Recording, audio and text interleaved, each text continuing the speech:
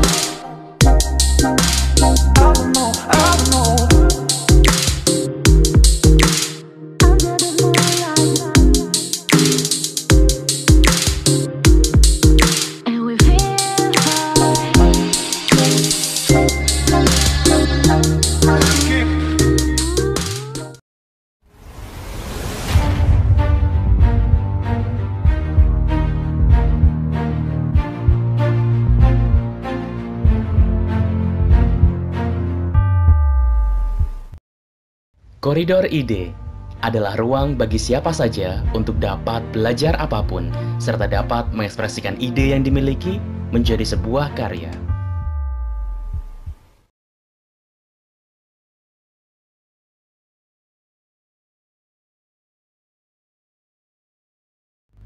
Oke, baik. Selamat sore untuk semua sobat milenial. Selamat datang dan juga selamat bergabung di Koridor Ide Batch yang ke-16. Oke, untuk itu seperti ada pepatah tak kenal maka tak sayang. Untuk itu izinkan saya untuk bisa memperkenalkan diri di hadapan sobat milenial sekalian. Perkenalkan saya Adrian Christian. Saya merupakan mas mahasiswa dari Universitas Widya Kartika. Untuk itu saya ingin mengucapkan selamat bergabung di forum online ini bersama narasumber kita. Semoga sobat milenial dalam keadaan sehat dan tetap semangat.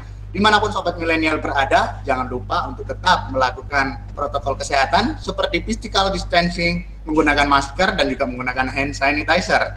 Dan juga untuk itu saya ingatkan kali lagi kepada sobat milenial untuk jangan lupa memfollow sosial media kita seperti Facebook, Instagram, dan juga Twitter di @infowika. Dan juga jangan lupa untuk subscribe YouTube channel kami yaitu di Universitas Widya Kartika agar semua sobat milenial dapat tahu update info tentang Universitas Widya Kartika dan Koridor Ide.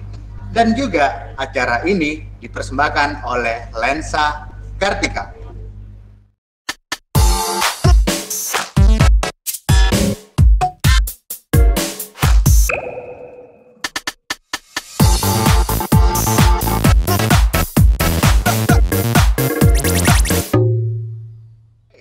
Koridor Ide ini bersifat gratis dan hadir setiap minggunya dengan judul dan narasumber yang akan membawakan ide-ide dan ilmu-ilmu untuk dibagikan kepada sobat milenial sekalian.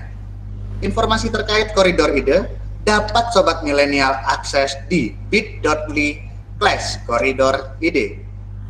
Kita akan apresiasi bagi audiens yang aktif seperti bertanya, menyapa, dan juga audiens terfavorit. Kami akan memberikan e-sertifikat gratis dan juga merchandise yang akan kami kirimkan langsung ke tempat tinggal sobat milenial maupun di Sabang sampai Merauke akan tetap kami kirimkan dengan bebas ongkos kirim pastinya ya. Lumayan juga kan sudah menjadi uh, peserta audiens yang aktif dan juga terfavorit juga bisa mendapatkan merchandise yang sangat spesial. Dan juga kami akan memberikan sertifikat gratis dan voucher belanja dari Bantex. Lumayan kan, khususnya buat sobat milenial yang suka berbelanja, pastinya bisa menggunakan voucher belanja dari Bantex yang sangat luar biasa.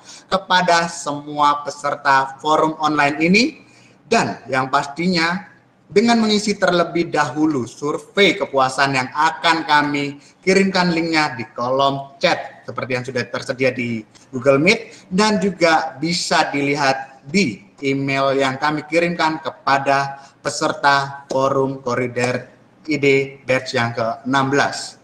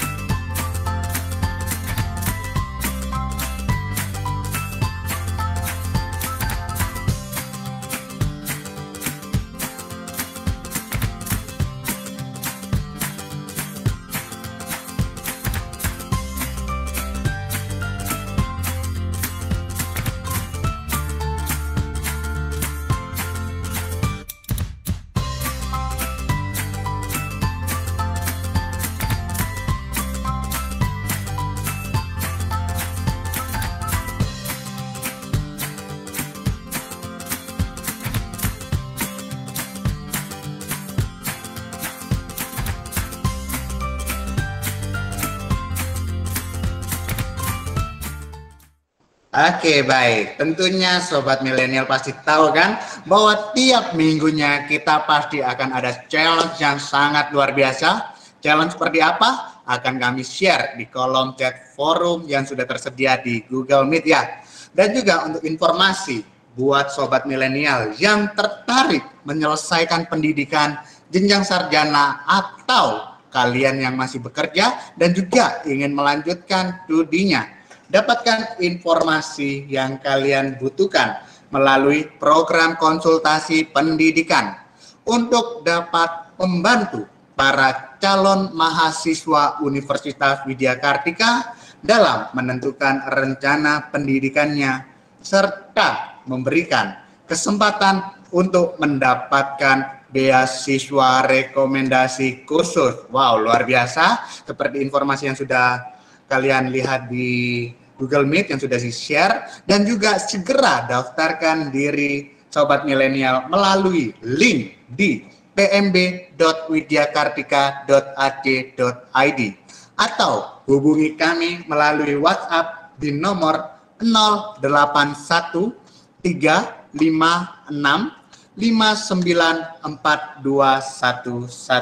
pada sore hari ini saya akan memperkenalkan narasumber dan juga moderator kita yang sangat luar biasa terlebih dahulu. Untuk narasumber kita yaitu ada Kak Aldi Mandiri. Halo Kak Aldi, bagaimana Kak Aldi? Halo, halo. Oke, sehat, baik. Sehat-sehat ya? Sehat-sehat, aman-aman. Oke, lagi di mana nih Kak Aldi kalau boleh tahu? Lagi di rumah, rumah. Oh, lagi di rumah ya. Oke, baik. Nah, buat sobat milenial, Kak Aldi Mandiri ini merupakan network engineer pemerhati bidang internet teknologi and web business dan juga untuk materi kita pada sore hari ini yaitu ada adalah networking connection dots in the cloud yaitu yang di mana memiliki arti interkoneksi halaman virtual dan jati diri. Oke baik, Kak Aldi Mandiri. Kalau boleh tahu, apakah Kak Aldi Mandiri sudah siap untuk bisa membagikan ide-ide dan juga ilmu kepada sobat milenial yang mau bergabung di koridor ide batch yang ke-16 ini? Ya, uh, bisa dimulai. Oke baik, sangat antusias. Dan juga untuk itu, saya juga tidak lupa memperkenalkan untuk moderator kita yang sangat luar biasa pastinya dan juga sobat milenial pasti sudah tidak asing melihat wajah yang moderator kita yang sangat luar biasa Beliau adalah merupakan lelaki dan juga pastinya ganteng dan juga sangat tampan. Khususnya buat sobat milenial yang khusus untuk kaum hawa bisa cuci mata terlebih dahulu. Oke, bercanda. Oke, baik. Untuk itu pada sore hari ini saya akan memperkenalkan moderator kita ada Kak Rio Oktora Nanda Putra. Baik, selamat sore Kak Rio. Apa kabar? Sore, sehat. Alhamdulillah sehat. Okay, Intronya keren ya. Semoga nggak beda sama ekspektasinya ini nanti sama sobat milenial ini. Oke, okay, sehat-sehat ya Kak Rio ya. sehat alhamdulillah. Semoga Adrian dan narasumber dan seluruh sobat milenial juga sehat. Oke okay, baik, untuk sobat milenial, Kak Rio Oktora Nanda Putra ini merupakan koordinator Pusat Media dan Komunikasi Universitas Widya Kartika dan juga untuk Karyo sudah semangat untuk sudah antusias untuk bisa menemani sobat milenial yang bergabung di koridor ide batch yang ke-16 ini. Sudah siap? Siap pastinya. Oke, baik luar biasa ya. Saya pasti narasumber dan juga moderator kita sudah antusias dan juga tentunya untuk sobat milenial pasti juga lebih antusias.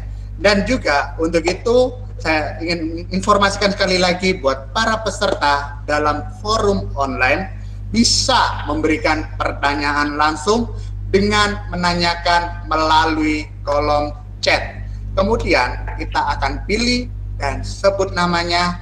Bagi nama yang disebutkan, kami minta dengan hormat untuk silakan mengaktifkan mikrofonnya. Oke baik, untuk itu saya tidak perlu berlama-lama lagi. Pada sore hari ini saya langsung serahkan kepada Kak Rio Oktora Nanda Putra. Silakan Kak Rio. Sekali lagi terima kasih Adrian. Uh, luar biasa sekali ya. Adrian adalah mahasiswa Teknik Informatika di Universitas Widya Kartika dan sekarang ini jadi tim di control roomnya Koridor ID. Jadi ke depannya bakalan kita bawa mahasiswa-mahasiswa kita juga ini yang lainnya ini. Ada Joshua, ada yang lainnya akan nyusul semuanya bakalan jadi MC, bakalan ngisi Koridor ID. Oke, okay. uh, sekali lagi selamat sore kepada sobat milenial dan selamat sore kepada Mas Aldi. Ya, Selamat sore Mas Aldi. Mas Rio. Sehat ya. ini kaku nih biasanya biasanya kita ngobrol pakai bahasa Surabaya nih. Harus pakai bahasa formal Indonesia ini. Ya. Oke, eh, judul kita hari ini Networking Connecting Dots in the Cloud. Kalau teman-teman di bidang teknik ketika mendengar kata network ini eh, bicaranya sudah eh, hal-hal yang teknis juga ya atau mungkin bahkan berka- berbau teknologi entah itu eh, jaringan dan internet kemudian apa eh, website dan sebagainya. Tapi kalau orang-orang di bidang-bidang yang atau ya orang-orang umum ini eh, membaca atau menginterpretasikan networking ini sebagai eh, koneksi secara personal gitu dengan yang dengan yang lainnya dengan publik gitu. Kalau untuk tema kali ini kita angkat networking, kita bahasnya detailnya bagaimana, Mas Aldi? Kita mau yang mana nih? Kalau kalau dari saya sih mulai dari pemahaman dari tiap kata yang ada di judul untuk materi hari ini ya, mulai dari yang paling susah eh, untuk eh, atau bukan susah ya asing untuk didengarkan oleh teman-teman semua yaitu dari istilah cloud sendiri. Mungkin ada banyak orang yang sudah tahu apa itu cloud atau belum tahu atau pernah mencari tahu tentang cloud itu sendiri. Tapi saya Cloud, punya eh, ya pengertian sendiri atau pemahaman sendiri tentang cloud itu seperti apa. Eh, kalau cloud ini, kalau bahasa bahasa Indonesia awan ya. Tapi kalau eh, sekarang sudah sudah pada tahu nih kalau bilang cloud gitu eh, bisa bisa diartikan sebagai dunia maya kah begitu? Eh, bisa dikatakan seperti itu, cuman eh, kalau menurut saya sih cloud itu tepatnya sih tempat penyimpanan ya, tempat penyimpanan data atau sarana komunikasi melalui jaringan internet. Tapi kita tidak tahu di mana tempat eh, tempatnya. Dalam artian gini, kalau eh, orang kan normalnya kan tahu oh cloud itu sama dengan server. Tapi kalau server itu menurut saya kita tahu tempatnya server itu ada di mana. Kalau saya punya server ya saya tahu ada di mana. Tapi kalau di cloud kita nggak tahu ada di mana. Contohnya hari ini kita lakukan eh Corridor ID Webinar. di Google, ya eh, di Google Meet ini kita nggak- kita nggak tahu servernya Google Meet ini ada di mana. Ada di Indonesia kah, ada di Singapura kah, atau di di sebelah rumah saya mungkin. Nah kita nggak pernah tahu. Jadi eh, in the cloud we trust lah pokoknya. Jadi dots-nya ini itu kalau dikaitkan dengan pembahasan kita hari ini eh, terkait dengan jati diri dan juga halaman virtual. Itu dots-nya itu ya itu ya eh, halaman virtual dan juga jati diri kita gitu, sosial media kita gitu. Kalau bahas masalah dots itu lebih ke ah, lebih ke arah sih. Kalau kalau seorang saya, seorang Aldi Mandiri ini siapa eh, siapa yang tahu saya kan pasti ada yang tahu. Terus eh, Pak Rio sendiri atau teman-teman yang lain yang yang lagi join di Google Meet juga siapa yang tahu orangnya. Kalau ingin mengetahui siapa saya, siapa Pak Rio, siapa eh, teman-teman yang ada di sini juga bisa melalui jaringan virtual atau eh, halaman virtual seperti website lah. Dot ini eh, saya artikan sebagai domain atau nama domain sendiri, eh, nama domain untuk website Anda sendiri seperti itu.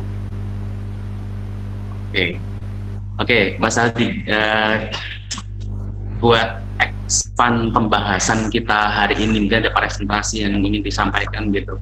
Kita sambil mulai saja, eh, Mas Aldi untuk menyampaikan Ya. ide-idenya ini yang ingin dibagikan ke sobat milenial.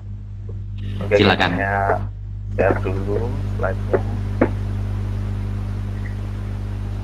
Ini sekarang ada di bootcamp ya? Enggak, enggak. lagi saya liburkan Pak, karena khusus Libur. ada acara ini saya liburkan sebentar, takut mengganggu. Khusus koridor itu diliburkan ya? Ya, saya liburkan.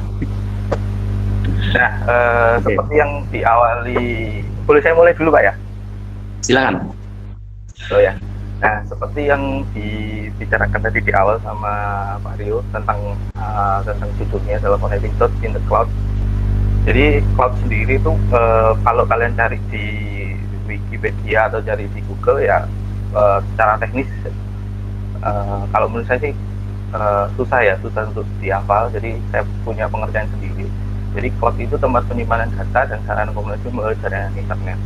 Jadi kenapa saya uh, kalimat awalnya tempat penyimpanan data karena semua aplikasi cloud yang kita pakai sekarang uh, itu rata-rata untuk penyimpanan data contohnya yang paling sering dipakai oleh pengguna iPhone ya iCloud jadi iCloud itu ya fungsinya untuk penyimpanan data entah itu gambar, foto, kontak HP dan sebagainya. Nah, dari cloud ini kita bisa memberikan suatu uh, ah, bukan memberikan, kita uh, mempresentasikan diri kita seperti apa, uh, terus kita, kalau misalnya kita punya minat, uh, sorry bukan punya bakat atau punya passion di bidang tertentu, kita bisa memberikan uh, idenya itu atau mempresentasikan mempresentasikan idenya itu di halaman virtual. Nah, halaman virtual ini yang yang akan saya bahas itu adalah website.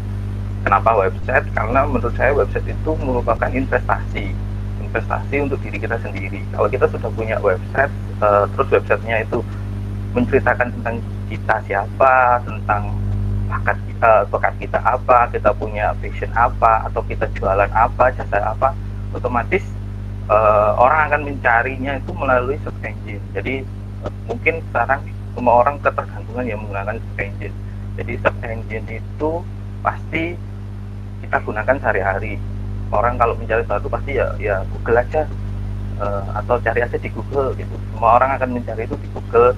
Lalu kalau misalnya kita cari uh, fotografer Surabaya misalnya siapa yang ada di sana apa ada website apa yang bisa kita klik atau kita lihat jasanya seperti apa uh, terus biayanya berapa terus portofolionya gimana dan sebagainya dan sebagainya nah di website itu menampilkan tentang informasi subjek tertentu yang diterbitkan oleh satu orang atau organisasi jadi bisa juga kita punya website itu buat company profile jadi kalau misalnya kita punya perusahaan atau punya CV punya PT kita bisa uh, mendesain website atau membuat website untuk uh, untuk pribadi maupun organisasi.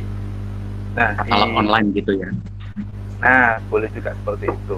Nah, jadi uh, intinya sih interkoneksi halaman virtual kita bisa mempresentasikan diri kita melalui halaman virtual.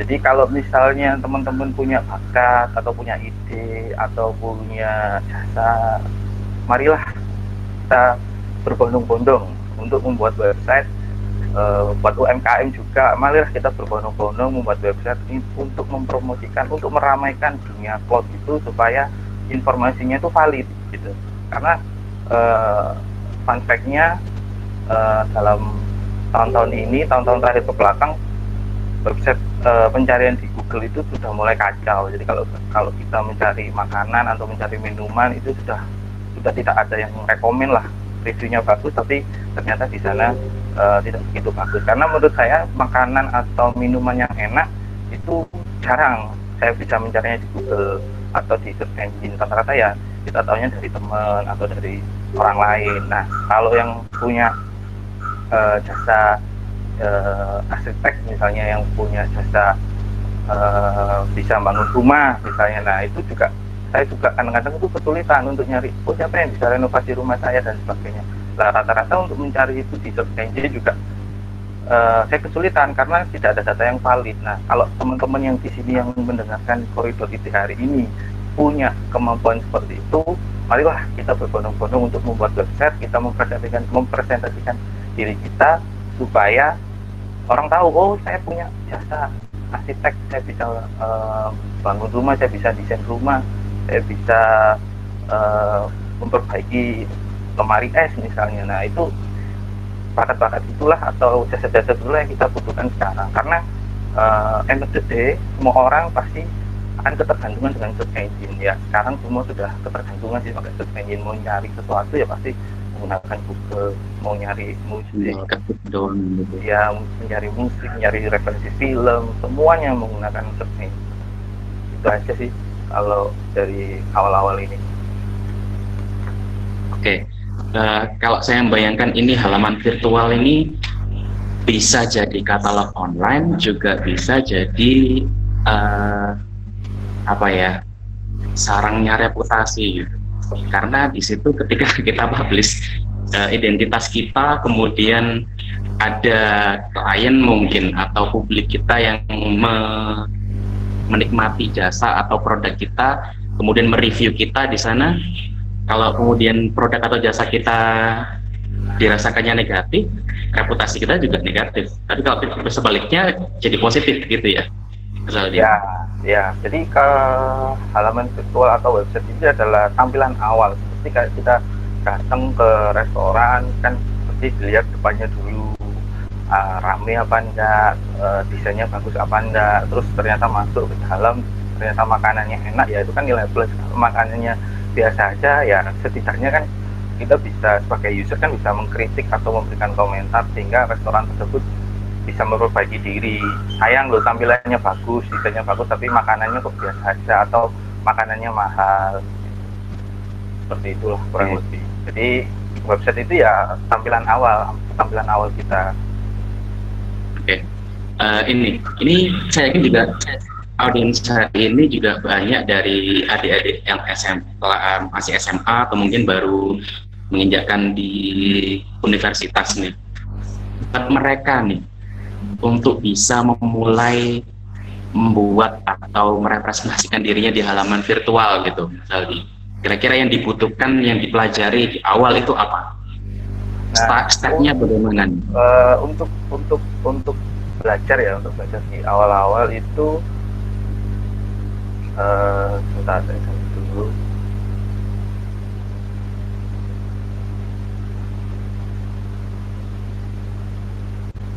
Jadi selain kesibukan sebagai network engineer ini juga punya bootcamp di rumah buat adik-adik SMK gitu ya.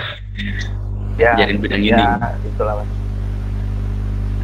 Bolehlah kita main-main ke sana kapan-kapan uh, tidak boleh mas. Tertutup untuk publik. Oh, kalau untuk koridor ini nggak ada kata tertutup itu. Itu bisa oh, dibuka iya. sendiri. Untuk pak untuk, untuk Pak Rio saja terbukanya. Ini ya, kita bawa uh, satu kompi audiens sendiri silakan.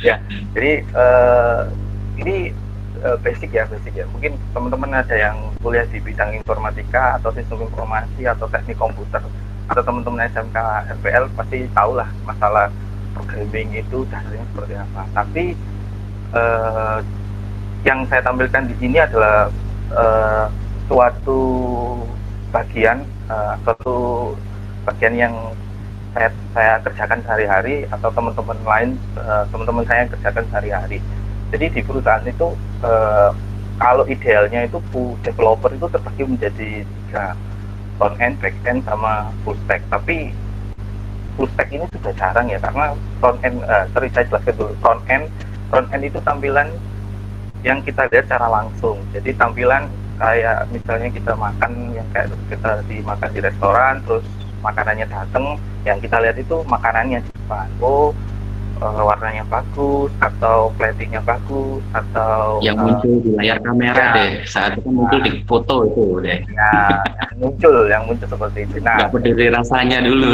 Iya lah backend itu adalah uh, orang yang di uh, di dapur yang masak. Jadi yang masak terus mencampurkan bahan ini bahan itu terus bumbu ini bumbu itu akhirnya jadi suatu makanan. Jadi front end konten itu ya tampilan makanan itu backend ya yang masak itulah. Full stack itu adalah orang yang mengerjakan kedua hal itu. Makanya di situ saya tulis Superman zaman now. Jadi orang yang bisa mengerjakan full stack ini untuk sekarang itu uh, susah didapat gitu.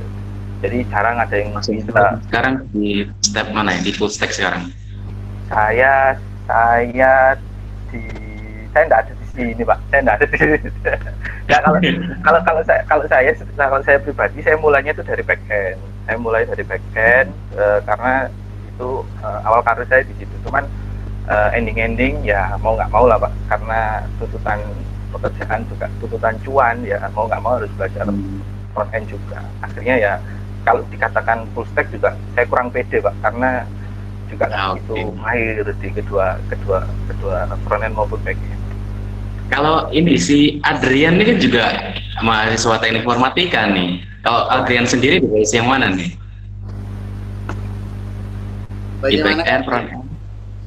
Kalau Adrian sendiri nih, ini jagonya di mana? Di back endnya atau di front endnya gitu? Atau dua-duanya? Kalau saya uh, lebih ke arah front end. Jadi kayak lebih enak gitu. Jadi kayak tampilan yang kita lihat itu secara langsung itu lebih jadi kayak udah ada kayak bayangan gitu. Jadi lebih ke arah front endnya gitu.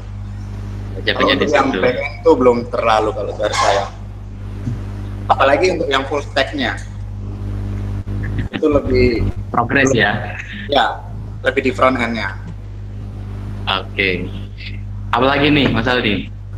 Nah, uh, terus saya pisah ke ke bagi ya front end itu basicnya itu belajarnya itu mulai dari tiga hal HTML, CSS sama JavaScript. Jadi HTML itu tampilan dasar. Jadi kalau kalau kita misalnya bikin uh, tulisan, misalnya kita tulis uh, Aldi Mandiri terus tampil di halaman website itu yang bekerja HTML-nya. Jadi tampilan dasar banget. Jadi cuma ngatur uh, mi, mi, miring itu apa ya? Italik. Uh, ya, italic. Ya, italic. Terus kalau misalnya kebal itu full, terus besar kecil, kecil, bisa di oh, ya. Mm-hmm. Nah, CSS itu yang mengatur tampilan, jadi yang memperindah. Jadi misalnya kanan kirinya mulai uh, rata tengah, terus agak kanan sedikit, kiri sedikit, dan sebagainya. Alignment ya JavaScript karena di CSS itu ada istilah padding ada istilah background ya itu juga mengatur yang belakang itu tampilannya seperti apa mau warna apa dan sebagainya. Kalau JavaScript itu yang mempercantik tampilan. Jadi tampilannya itu bisa uh, kanan ke kiri uh, bisa kalau misalnya uh, makanya gini kalau JavaScript itu yang ngatur kalau kita lihat di uh, laptop tampilnya seperti ini terus kalau kita buka dari HP tampilannya seperti itu. Jadi bisa menyesuaikan atau istilahnya responsif. Nah itulah kerja JavaScript di situ oke. Jadi ini juga melibatkan desain juga ya maksudnya desain uh, kalau kalau kita ini kan tahu desain itu kan pakainya entah itu Photoshop atau Corel gitu. Ini desainnya pakai yang HTML, CSS, JavaScript gitu ya. Mm dan juga uh, front end itu juga melibatkan apa desain grafis juga Rio. Desain grafis. Ya. Kebetulan uh, saya juga punya teman-teman yang yang yang bisa desain grafis juga. Mereka menerima project kadang-kadang juga untuk desain web jadi tampilan misalnya headernya atau backgroundnya itu mereka benar-benar fokus ke sana tampilannya. Jadi karena kenyamanan jadi ada istilah UI sama UX user interface sama user experience. Nah itu juga penting. Pemilihan palet warna misalnya kalau kalau ada orang itu kurang suka oh saya, saya kurang suka ya sama warna merah ya? Tapi ada orang yang lain oh bagus ini warna merah. Kita kadang-kadang itu bingung ngambil jalan tengahnya gitu untuk menyesuaikan antara UI dan UX jadi front end ini menurut saya uh, harus mengandalkan uh, sensitivitas. Jadi feelingnya tuh lebih main di sini karena benar-benar uh, orang itu first impressionnya tuh di front end. Seperti yang saya bilang tadi kayak, kayak kita ke restoran ya. Orang kan mesti lihat tuh bagus ya desainnya restorannya ya mewah. Wah tatanan bangku-bangkunya anu rapi dan sebagainya. Itu kan permainan front end semua. Di mana kita bisa menarik uh, orang untuk betah lama-lama di website kita. Bisa baca bisa baca artikelnya betah terus lihat tampilnya juga informasinya juga enak. Kalau saya butuh informasi kontak person misalnya podcast atau kontak kas nah itu taruh di mana supaya orang itu uh, bisa melihatnya secara langsung. Jadi kan ada istilah gini uh, saya pernah dengar dari teman saya itu kalau orang uh, lihat uh, laptop atau komputer atau monitor yang pertama kali dilihat itu sudut sebelah mana? Kalau Pak Rio sudut sebelah mana Pak ini. Kalau uh, saya sendiri sih ini uh, harusnya sih seimbang ya antara front end sama back end ya. Tapi realnya kira kalau kita lihat website atau halaman virtual lainnya itu uh, bahkan tampilan tampilan di halaman virtual itu tidak mencerminkan di realnya gitu gimana itu maksudnya gimana pak kalau uh, saya bilang berarti ini kan antara front end sama back end ini kan nggak bisa nggak bisa dipisah lah gitu ya. Uh, Tapi kalau ya, sebagai pemula, kalau sebagai pemula begitu, uh, yang harus diprioritaskan kira-kira yang mana dulu? Kalau kalau kalau cuman kalau cuman ingin mempresentasikan diri dalam artian ingin menunjukkan bahwa oh ini loh saya punya bakat, saya bisa bisa MC, saya bisa mengadakan saya IO misalnya saya IO atau saya jualan makanan dan sebagainya. Nah, kayak kalau itu sih lebih ke arah front end sih, Pak. Karena front end front end dasar itu e, lebih cepat untuk kita segera merealisasikan yang saya saya omong dari awal tadi yang berbondong-bondong untuk kita membuat website terus kita menunjukkan siapa jadi diri kita sebenarnya supaya goal dulu projectnya gitu ya. Baru nanti ya, nya diurusin gitu ya. Ah, betul. Jadi pelan pelan pak. Jadi kalau kalau kita kerjakan dalam dalam dalam waktu cepat itu juga nggak mungkin. Banyak kok pak website website yang yang sekarang kita pakai seperti Bukalapak atau e-commerce e-commerce yang lain juga pasti uh, front endnya itu pasti akan di di push lebih dulu. Karena tampilan itu sangat sangat sangat penting user interface-nya dulu digarap, kemudian build project baru diselesaikan ya. bagiannya, gitu ya. Aplikasi dulu masih waktu apa uh, ojek online pertama kali uh, ada di Surabaya atau di aplikasi itu kan tampilannya ya bisa digunakan dalam artian user interface-nya apa mudah digunakan tapi kadang-kadang kan banyak komplain kayak misalnya ini orderannya kok masuk masuk dan sebagainya itu kan masalah backend di review terus dia iya, ini ya. Uh, ya. Uh, uh, betul. betul. Jadi Pak Bos itu juga kadang-kadang Bos ayo sedang rilis, ayo buruan rilis dulu, rilis dulu. Terus nanti pelan-pelan dibenahi pelan-pelan. Itu juga si malakama Pak. Kalau kita nggak siap juga repot juga. Jadi itu juga ya akhirnya kemudian aplikasi ataupun halaman virtual itu sering sering update versi gitu ya. Iya betul. Sebentar Pak Rio, tadi iya. belum dijawab loh pertanyaanku. Ya, iya, iya, gimana, gimana? Yang kedua, kalau Pak Rio, Pak Rio, atau teman-teman deh nggak apa-apa yang yang ya, panggil Pak dong, panggil Pak aja, Mas, atau Mas pasti aja deh. ya, nah, lah Mas Rio, kalau misalnya gimana, gimana, gimana? Buka, buka laptop sama buka uh, smartphone-nya atau HP pintarnya. Kalau laptop ya. buka pertama kali, itu pandangan matanya itu ada di sebelah mana, sudut mana, yang pertama kali dilihat.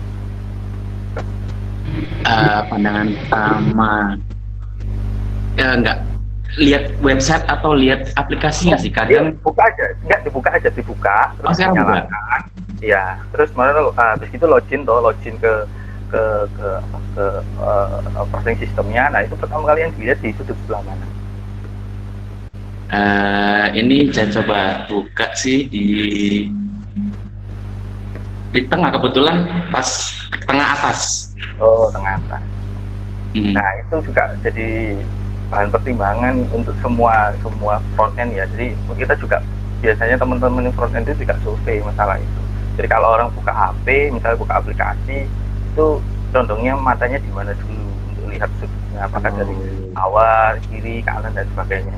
Makanya Windows itu awalnya dari versi uh, eh, XP sampai Windows 10 akhirnya kan tombol Windowsnya akhirnya kan kembalikan lagi ke bawah. Sempat Windows 8 pakai Metro itu kan banyak orang komplain karena orang itu sudah terbiasa kalau lihat uh, Windows ya pertama kali dilihat ya pada sebelah kiri. Iya nah, betul. Itulah, nah itulah kebiasaan front end front end seperti itulah.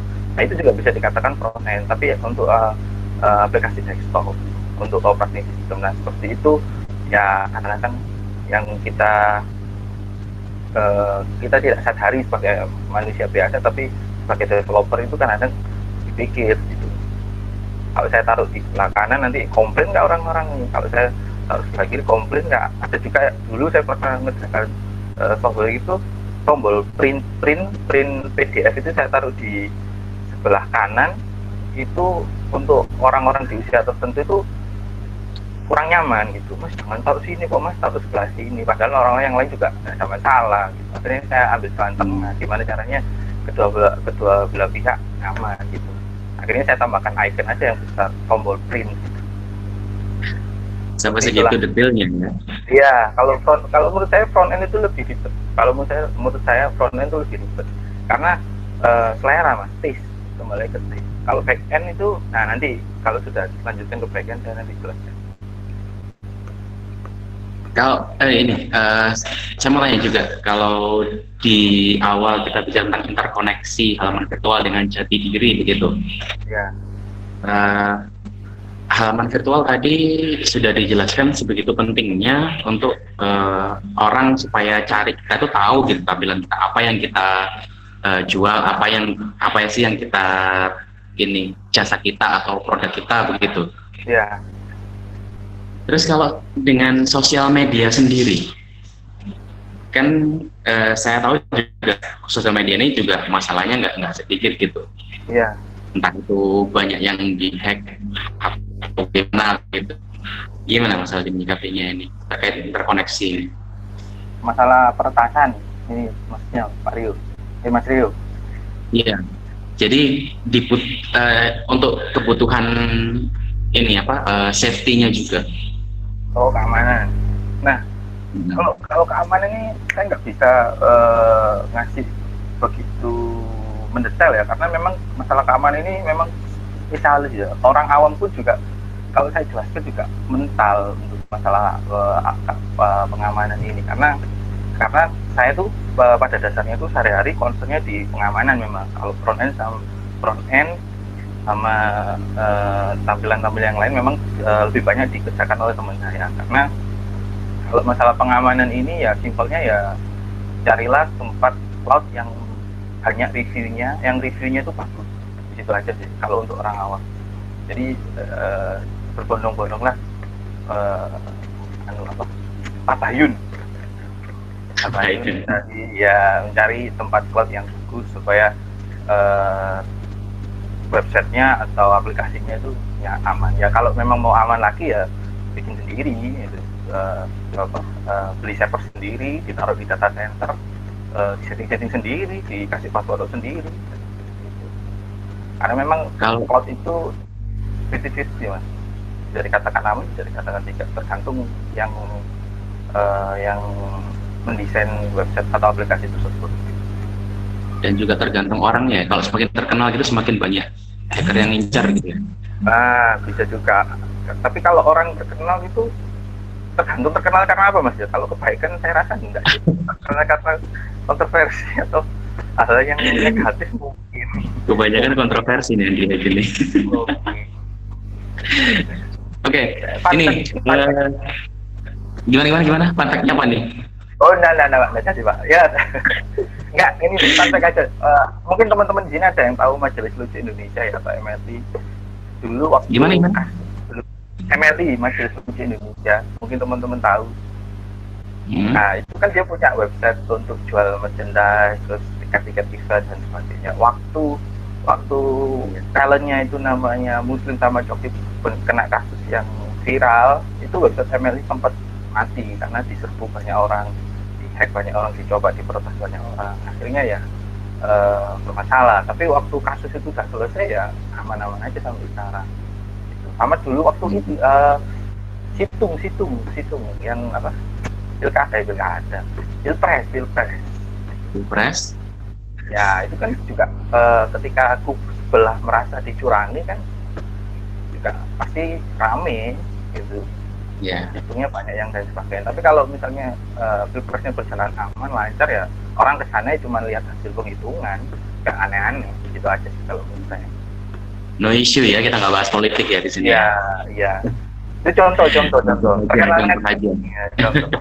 oke okay. gini kalau kita lihat di website juga uh, pada umumnya kan juga di situ yang kita bilang interkoneksi itu di situ juga ada tombol sosial media uh, yang dimiliki oleh entah perusahaan entah itu personnya yang punya website begitu.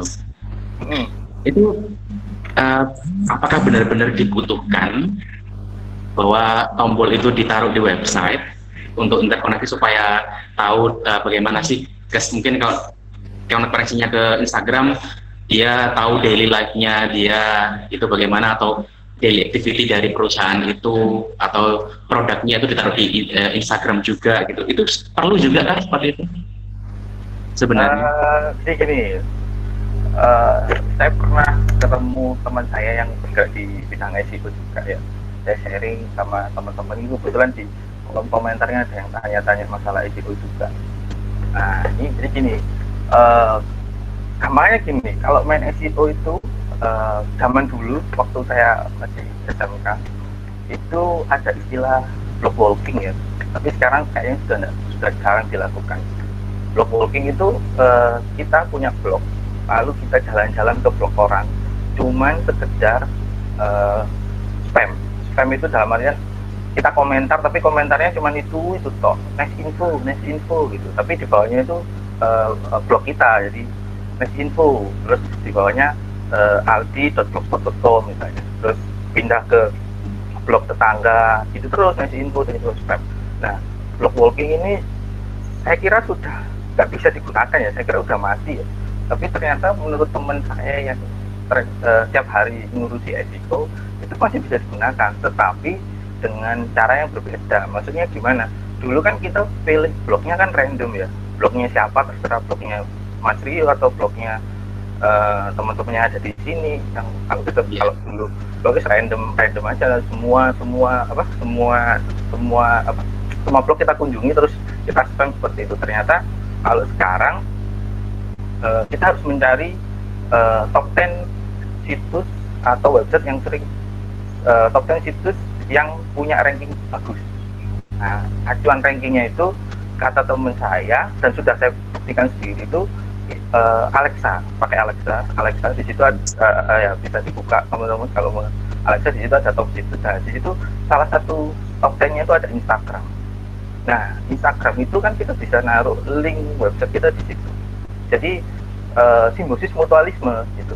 Kalau misalnya kan di Instagram kan kalau selebgram selebgram itu kan kalau bikin story kan cek link di bio. Nah, swipe up gitu ya? Iya, swipe up dan sebagainya. Nah itu juga sebagai sarana meningkatkan uh, popularitas website kita. Jadi, tapi harus uh, relate ya, relate dalam artian gini. Kalau kita personal brandnya di Instagram sebagai penjual uh, penjual makanan atau penjual lemari es gitu.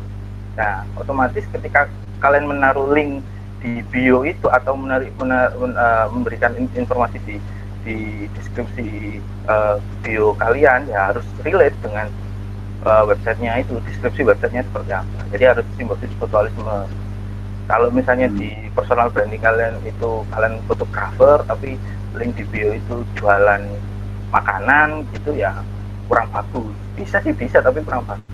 Tidak bisa tertarik jadi teman saya itu sehari-hari ya awal-awal kalau dia dapat dapat dapat apa dapat objekan atau dapat project website untuk SEO ya pertama kali dia lakukan ya. Seperti itu. Saya pernah nyoba itu software sekolah saya uh, iseng ada software sekolah punya temen. Saya coba uh, ya, praktekkan ilmu yang dikasih ke saya itu. Jadi saya buka Alexa di situ ada Facebook ada Instagram. Coba saya saya Alexa sekarang ya saya jarang lihat ini. Top 10 Oke, sambil nunggu juga, uh, Adrian mungkin ada pertanyaan dari teman-teman yang ready. Oke, ada. Untuk pertanyaan ada. Jadi boleh uh, kita sambung ya. Ya, ya langsung dari saya saja ya Kak Rio ya. Boleh silakan. Oke baik. Nah, jadi untuk uh, Mbak. untuk Kak Aldi, jadi gini Kak, ada yang bertanya atas nama Mirsa Balkis Salwa Salmira. Boleh saya minta untuk mengaktifkan mikrofonnya untuk silakan bertanya kepada Kak Aldi Mandiri. Silakan untuk Kak Mirsa Balkis Salwa Salmira untuk bisa memberikan pertanyaannya. Iya, Kak. Ya, silakan. Uh, perkenalkan saya Mirza Balkis Salwa Salmira dari Konglek Foundation Nah, ingin bertanya kak, bagaimana ya. sih caranya agar website yang kita buat itu ramai dikunjungi? Gitu? Sekian, terima kasih. Oke, terima kasih Mirza dari Jakarta tadi betul ya? Oke, Halo. tadi pertanyaannya sama uh, pembahasannya sih gimana caranya supaya websitenya itu rame gitu. Tadi salah satunya dari jelasin sedikit tadi. Ya, saya feeling pasti rata-rata pasti tanya itu pasti. Wah, berarti sudah disiapin jawabannya ini. Jawaban yang paling eksklusif ini ya. apa nih? Iya, belum tentu juga sih. Ini teman-teman di teman-teman koridor ini juga mencatat loh ini. Oh iya, ya silakan. Ya, supaya koridor ini semakin nah, ramai nih nanti. Iya. Universitas Pendidikan juga ini. silakan teman-teman kita bisa bahan, Silakan, bahan, bahan, bahan evaluasi juga ya Pak Rio ya buat internal ya? Oh pasti tentu. Oh, iya. Jadi gini uh, uh, kalau pertama gini pertama itu uh, kita riset dulu sih kalau masalah website ramai atau enggak kita riset dulu.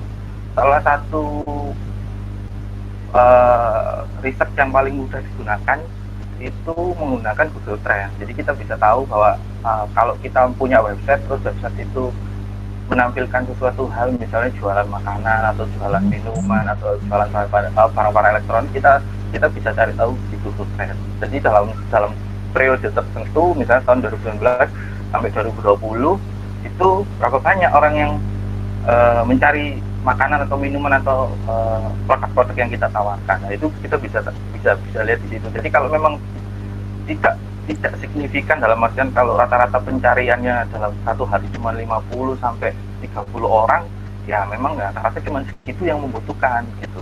Jadi kita nggak bisa memaksa itu juga.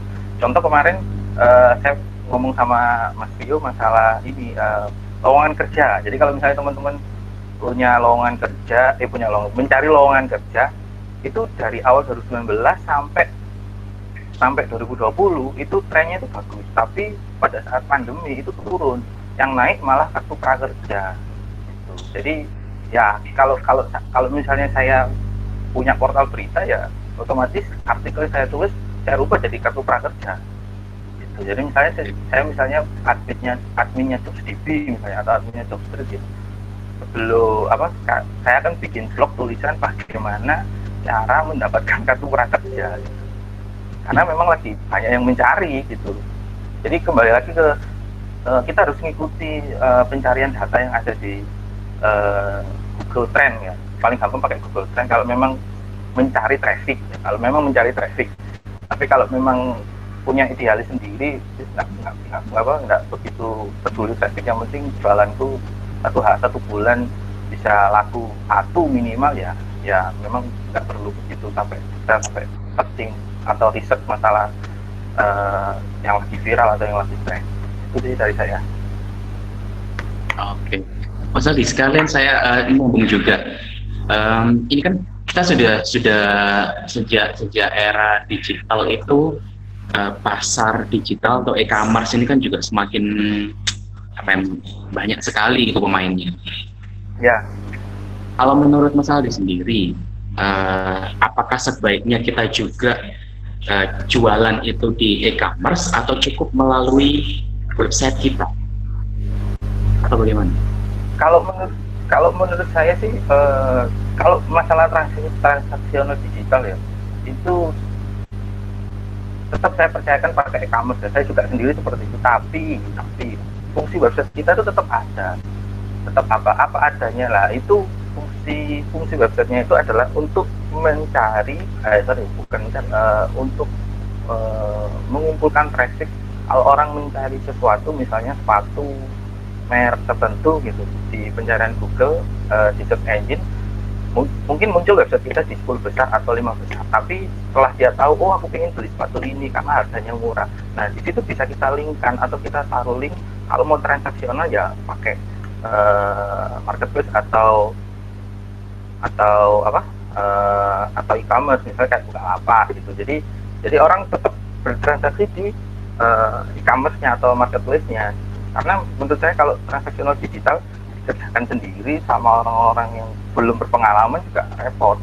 Karena kembali lagi data data transaksional digital itu sangat uh, sangat sangat sensitif ya sangat sensitif. Karena di situ kan kita akan uh, memberikan alamat terus uh, nomor HP dan sebagainya dan sebagainya. Itu kalau kita kelola sendiri pakai website sendiri juga atau sebagai uh, uh, taruh di hosting uh, yang yang bisa dikatakan murah atau terjangkau ya kita juga juga untuk untuk menjamin keamanannya. Jadi kalau menurut saya sih tetap seperti itu.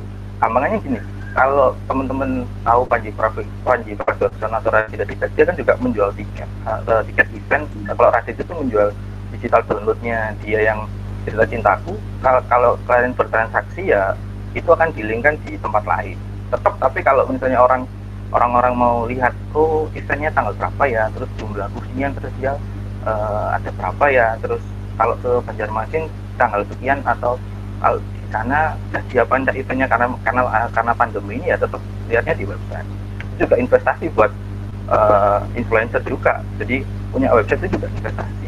Karena itulah kita bisa tahu traffic kita sesungguhnya itu berapa. Terus orang-orang juga tahu kita tuh dari mana juga kita tahu. Apakah dari pencarian atau dari langsung ketik websitenya juga kita tahu. Itu juga satu satu cara untuk memperluas ini ya pemasaran juga ya iya itu kan juga nyata buat kita pak evaluasi tiap tahun misalnya kalau kita bikin event apakah event kita cukup terkenal di pencarian nah itu juga orang juga kan uh, sebagai tim marketing atau tim digital marketing juga perlu mengevaluasi itu. Apakah kita sudah cukup optimal di bidang pencarian data di search engine? Kalau misalnya kita ketik stand up komedi terbaik ya, muncul nggak nama Pak Jipar Dewaksono atau Raja? Nah itu juga sebagai bahan evaluasi. Kalau kita memang mau mencari marketnya itu orang-orang yang benar-benar menggunakan search engine atau ketergantungan sama search engine. Karena semua orang pasti akan ketergantungan. Karena gimana kalau saya juga sampai sampai saat ini juga tergantung sama search kalau mencari apa-apa ya saya search dulu di Google bahkan kalau orang orang yang punya database uh, sosial media seperti itu Mas Riwina sudah sudah begitu banyak ya di IG, uh, LinkedIn dan sebagainya. Kalau saya HRD pun ya, saya pertama kali saya lihat ya sosmednya dulu, saya ketik eh namanya Rio Oktora. Di situ kan bisa dilihat juga histori dia pernah nge-tweet apa, share video-video apa, nah, saya juga bisa tahu ya itu orangnya seperti apa. Sebelum ketemu secara online gitu. Eh secara, secara tatap muka. Gambaran awal gitu ya. Ya oke. Okay. Adrian ada lagi soal lainnya yang bertanya ya ada lagi pertanyaan dari untuk Kak Erwin Daniswara Oke, selamat sore Kak Erwin dari Suara bisa saya minta tolong untuk bisa mengaktifkan mikrofonnya dan silakan bertanya kepada Kak Aldi Mandiri. Saya persilakan kepada Kak Erwin dari Suara. Ya sore saya, Pak. Ya. Ya dengan Pak Aldi Pak saya Erwin Pak. Ya silakan Pak Erwin. Ini saya ngajak bingung juga kalau kita sudah buat website Pak ya. Hmm. Setelah itu hal apa atau trik apa kira-kira supaya website itu dikunjungi banyak orang Pak? berdasarkan uh, kunci keywordnya yang ada atau dia harus bisa SEO atau dia semacam langganan Google Ads Pak. Jadi kedua itu atau ada cara lain atau manakah yang lebih optimal dan efisien Pak? Oke. Okay, uh... Kami kan kantong-kantong mahasiswa Pak. Ya. Ya, sekian Pak. Terima kasih Pak. Ya, ya langsung jawab okay.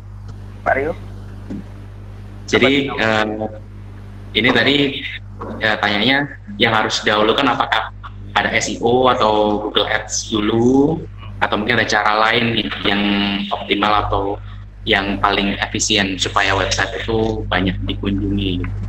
Kalau kalau dari kita sendiri sih pernah uh, ini kita lakukan juga mungkin semacam Facebook promote gitu ya.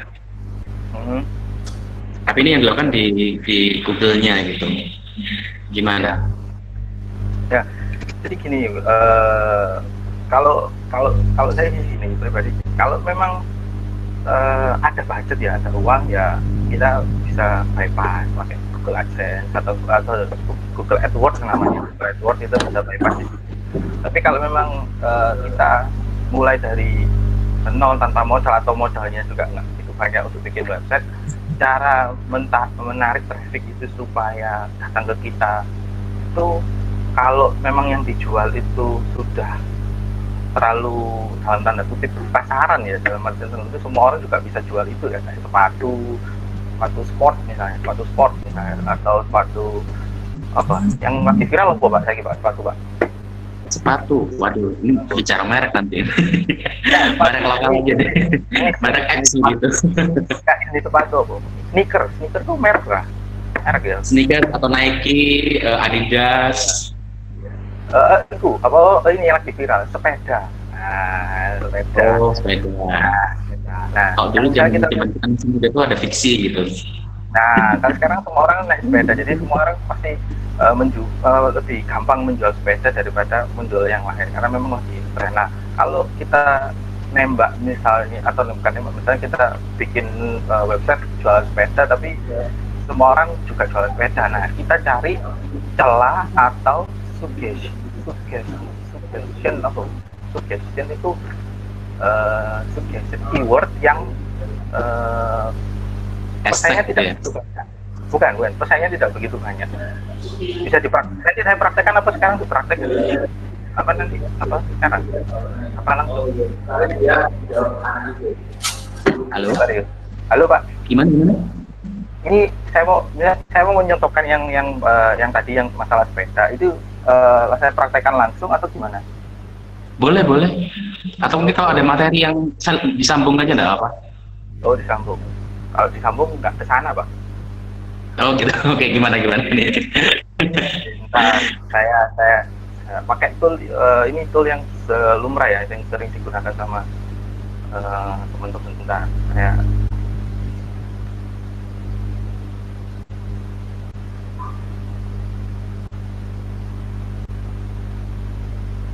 kalau uh, terkait dengan sosial media juga. Kita pernah juga uh, teman-teman dari koridor ini juga belajar uh, kita bicara tentang ceruk pasar gitu atau niche market.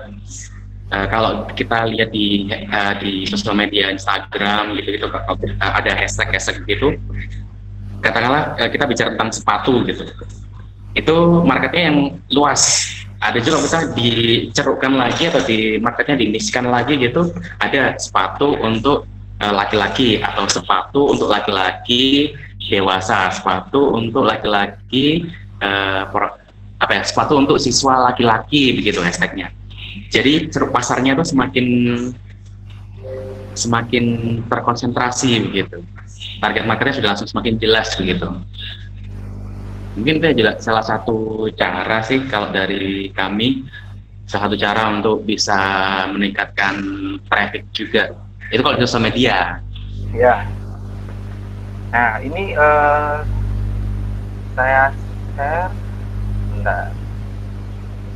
Berarti ini saya putus dulu pak.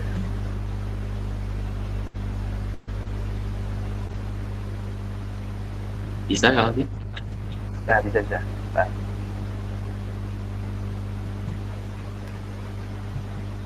Oke. Okay. Nah pakai uh, muncul nggak? Belum ya? Muncul muncul. Ah muncul. Nah ini ini tool yang tahu uh, salah satu tool yang sering digunakan ya sama teman-teman SEO ya. Jadi contohnya uh, saya nyari uh, misalnya saya jualan sepatu olahraga ya.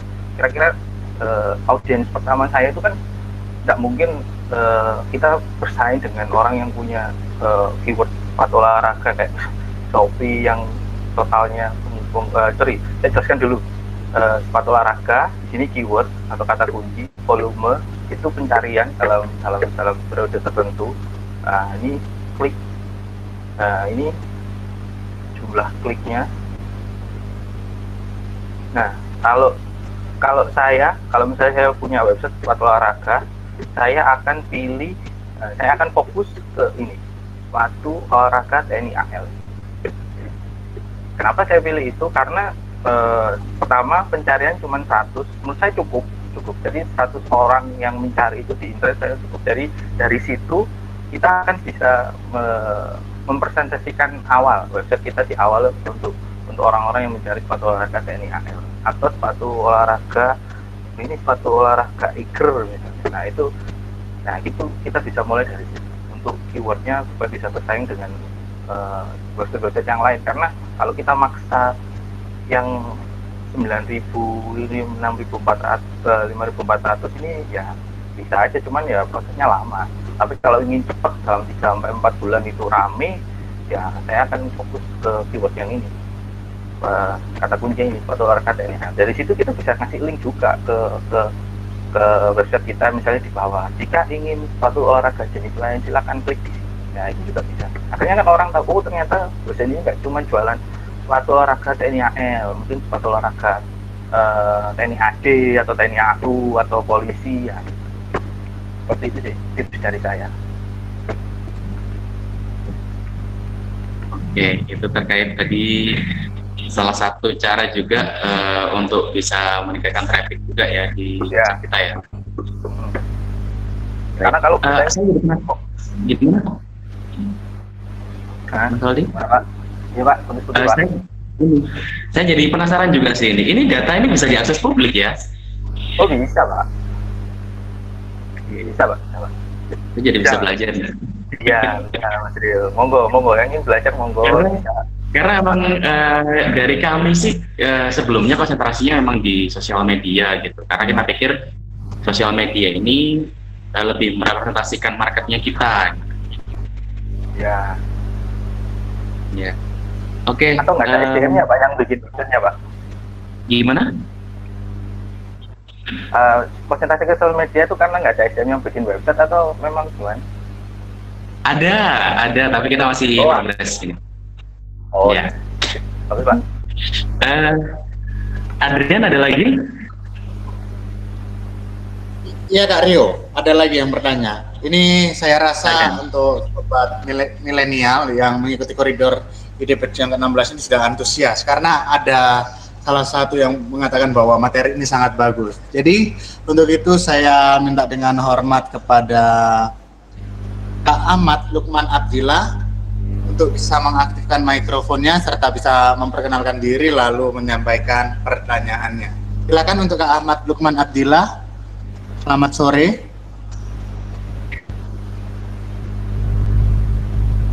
Oke, baik. Jadi langsung saya wakilkan saja ya.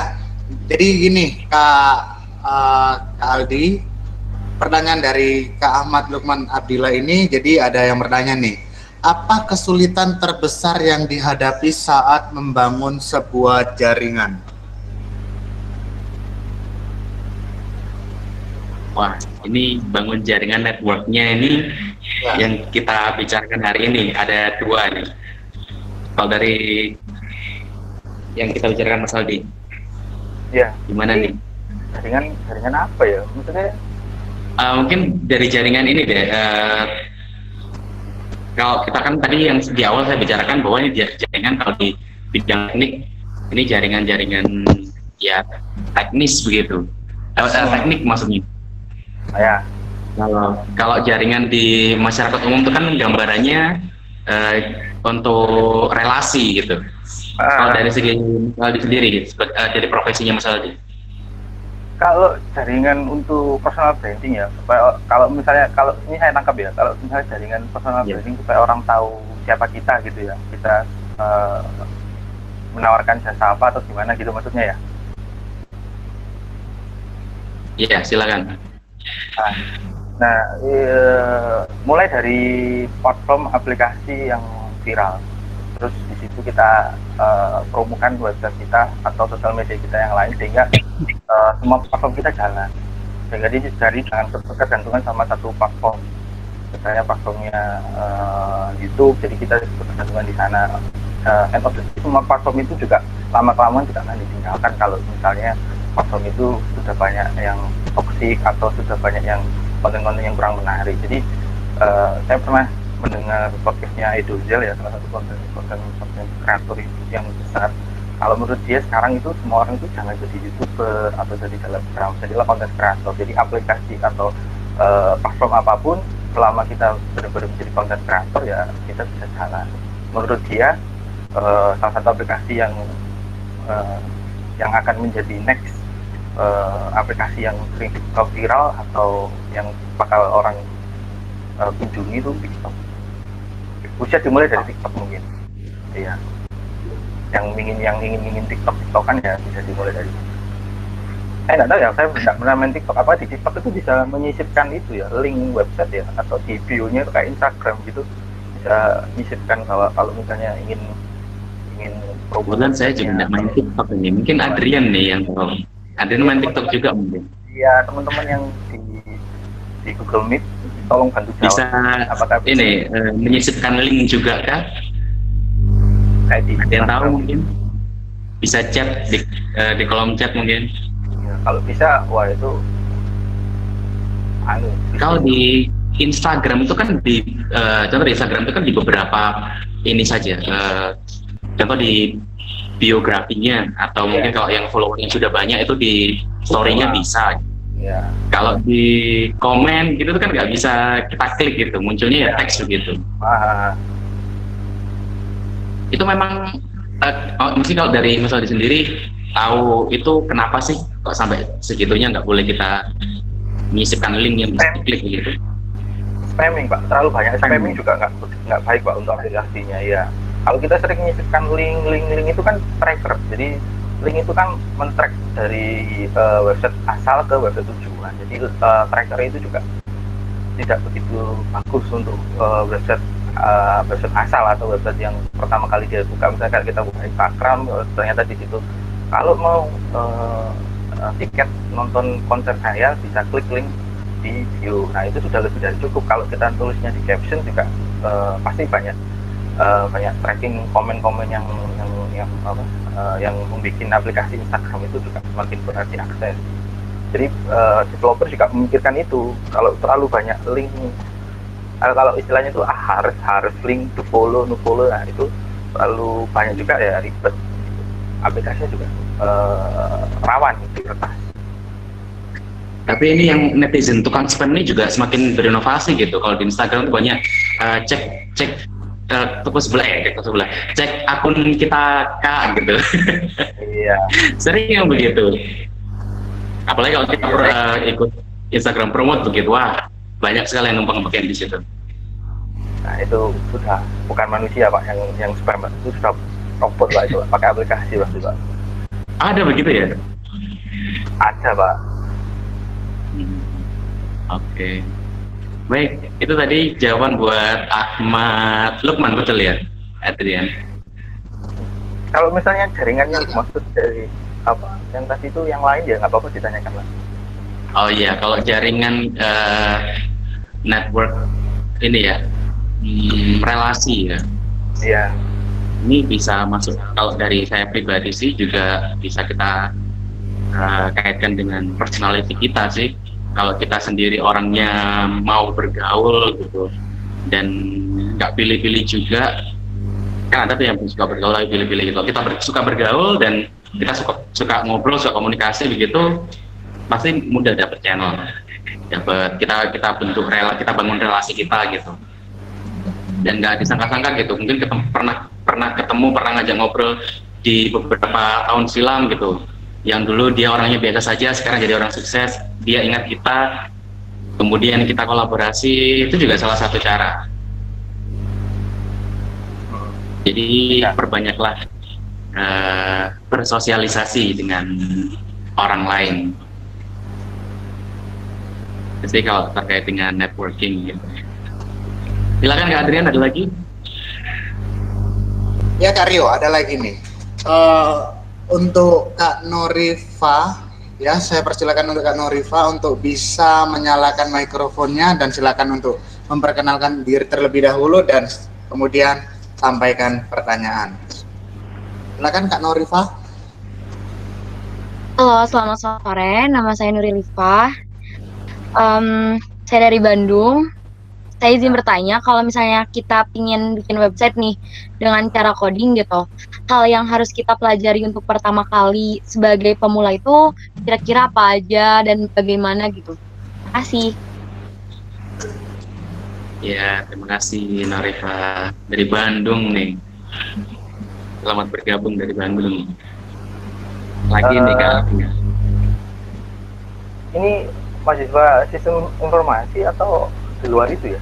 Maksudnya punya pengalaman beda ya Eh, untuk untuk treatmentnya beda ya untuk ngajarinya gitu Kak Adrian. kalau kalau dia di apa kuliah di sistem informasi atau kita yang nggak berkecimpung di bidang itu treatmentnya beda ya Eh, iya, pengenalannya beda. Jadi kalau kalau yang kuliah di eh, informatika atau informasi atau eh, teknik komputer pasti kan boleh kita tidak dia kan di, di, di kali Iya, tiap SKS. kita sapa juga tadi itu Norifah juga mungkin bisa diaktifkan mikrofonnya lagi. Norifah, mahasiswa Halo, kah halo. atau Eh, saya mahasiswi dari Institut Teknologi Bandung, eh, jurusan Teknologi Hayati. Dan eh, kalau di Institut Teknologi Bandung tuh tahun pertama semua mahasiswanya tuh TPB dan ada materi tentang coding gitu. Oke, Oh, oke. Terima kasih Norifah. Ya. Silakan. Teknologi apa? Apa jurusan apa? Hayati. ITB, di Hayati. ITB. Ya jurusannya apa tadi? Teknologi Iya, Teknologi Hayati. Oh, terus Di- di awal-awal di awal-awal tadi diajari coding ya di, di- oh, atau semester atau cuman beberapa SKS? Eh, s- dua semester, satu tahun pertama. Oh, pertama. Itu codingnya sampai mana? Maksudnya dia eh, jelasin dosennya tuh menjelaskan sampai mana? Apakah sampai tampil jadi websitenya atau cuma sekedar eh, Eh, bermain logika? karena saya mahasiswa baru, jadi saya baru dikasih kayak materi yang kan dipelajari aja gitu, belum mulai belajar karena mulai belajarnya tuh mulai September. Oh, mahasiswa baru. Ya. Baru lulus SMA juga nih. Iya, Nah, eh, jadi gini ya, eh, kalau saya ini pengalaman saya pribadi, ya, kalau saya ketemu sama teman-teman di eh, informatika, sama teman-teman yang kuliah di non informatika, itu memang eh, rata-rata kalau dia tertarik untuk membuat website atau ingin menulis di blog, contohnya kayak, eh, kayak tadi tadi Dika, misalnya itu yang paling terkenal, itu memang kendalanya ya harus bikin website tapi nggak bisa coding atau kurang paham tentang coding. Nah, kalau kalau di perkuliahan saya kurang tahu ya materi sekarang itu gimana ya. Kalau menurut saya sih materi yang cocok untuk awal-awal untuk awal-awal belajar coding itu tidak harus eh, melihat kodenya, tapi langsung praktek menggunakan eh, CMS atau framework yang yang mudah, yang mudah dimengerti dari sisi kita sendiri. Kita mengerti eh, mengerti pakai framework ini atau eh, CMS ini itu lebih gampang. Jadi eh, jadi hasilnya tuh lebih cepat cepat eh, cepat datang gitu. Daripada kita harus belajar coding pelan-pelan tunggu setahun dua tahun tiga tahun baru jadi websitenya. Karena balik lagi ya eh, semua itu eh, ada istilah itu dimulai aja dulu gitu. Semua itu dimulai aja dulu. Entah itu hasilnya eh, menurut sebagian orang itu ini kok grafisnya warnanya kuning ya. Oh, kuning tuh kayak bendera kematian ya saya suka. Nah, itu kan sebagian orang yang punya pendapat itu. Tapi setidaknya kita sudah eh, memberikan eh, dampak terhadap proses kita dengan pencarian itu. Jadi kalau kita kalau orang itu mencari website terus eh, mencari sesuatu terus ketemu website kita, meskipun tampilannya kurang maksimal atau tidak user friendly atau user interface-nya masih kurang maksimal, setidaknya trafficnya itu datang terus. Gitu. Akhirnya kan lama kelamaan ya mungkin kalau kita ada rezeki lebih atau punya eh, modal yang bagus ya kita eh, tanya teman kita yang pinter untuk desain dan sebagainya. Akhirnya kita join satu jadi berkolaborasi lah. Jadi kalau memang 100% awam mau belajar coding terus bikin website ya prosesnya lama.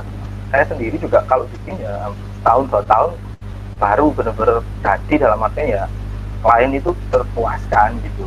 Jadi nggak satu bulan dua bulan sebulan dua bulan ya paling juga ya istilahnya kalau dalam bahasa Surabaya sopo noe pokoknya pokoknya tadi pokoknya pokoknya tadi jadi apa adanya yang penting tadi dulu.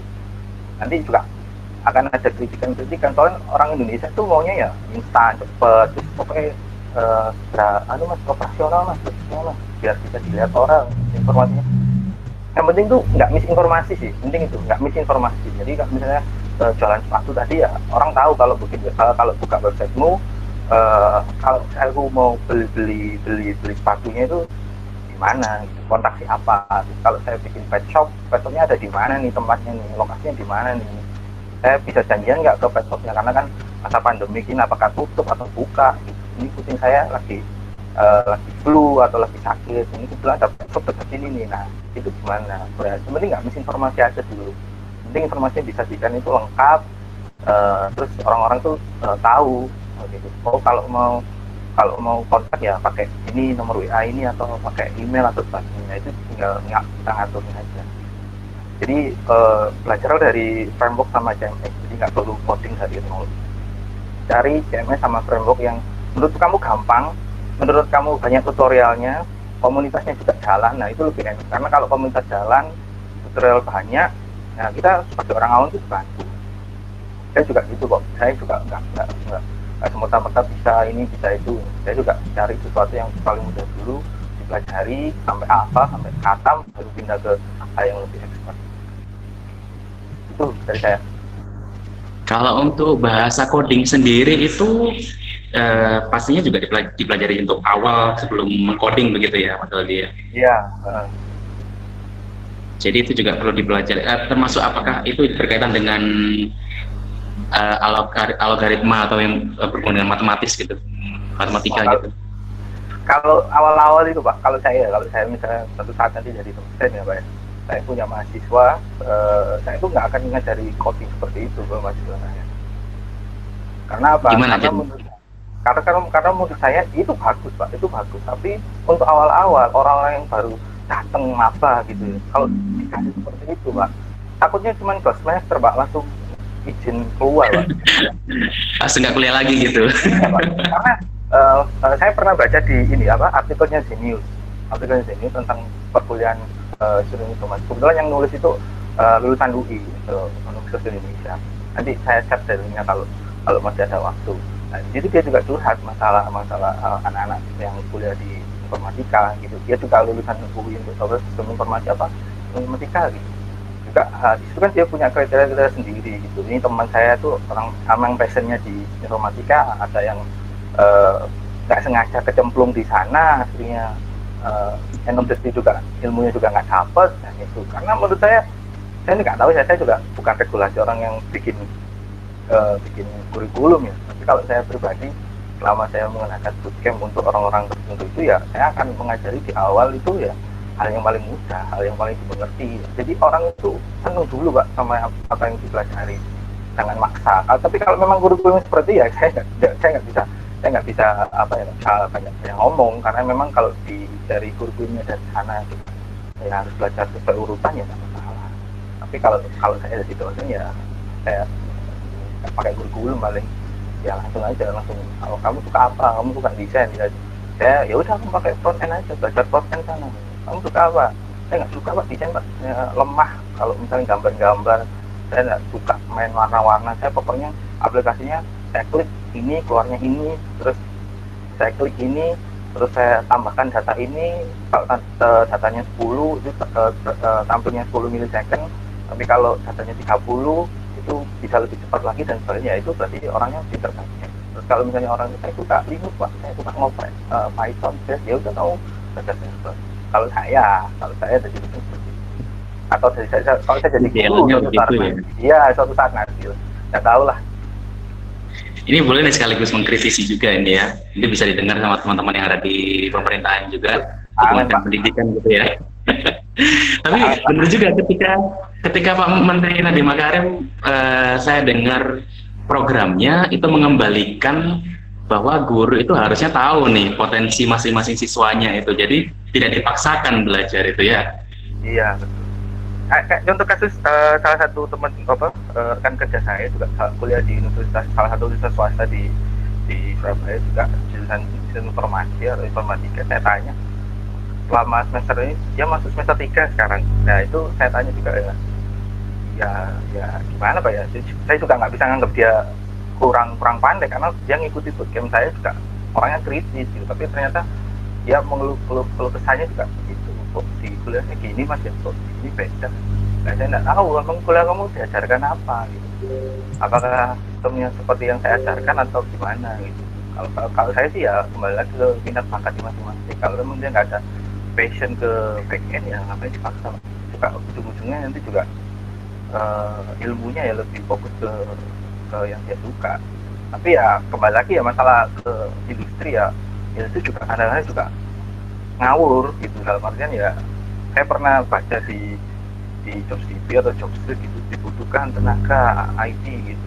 Bisa ini bisa itu bisa ini. Wih ini bukan bukan anu lagi pak. Bukan tenaga IT lagi pak. Ini pak. Ini Superman saya bilang gitu. Ini Superman gitu. Bisa Corel bisa Photoshop bisa iya aplikasi ini bisa setting ini bisa setting gajinya gajinya UMR lah Iya, ya. itu yang ditanyakan itu gajinya sama atau double? Iya, nah itu pak. Makanya juga, saya juga dulu pernah terjebak di situasi seperti itu. Gitu. Dan sudah sadar Dan ya, nggak terjebak ya? Iya, nggak sadar pak. Ya, banyak senior-senior saya yang yang sampai uh, yang senior-senior saya juga yang ngajarin saya masalah informatika ini juga ya mereka dulu dulu waktu awal merintis juga seperti itu. Tapi sekarang mereka sudah punya tempatnya sendiri yang yang fokus memang di minat bakatnya sendiri sendiri. Andai kata dia mengerjakan uh, di luar minat bakatnya ya cuma sekedar nyambi atau cuma ya cuma proyek jalan atau ya ada kebutuhan khusus lah karena dapur kurang atau gimana ya tapi sehari-hari ya fokus research developmentnya ya di minat dan bakatnya. Oke.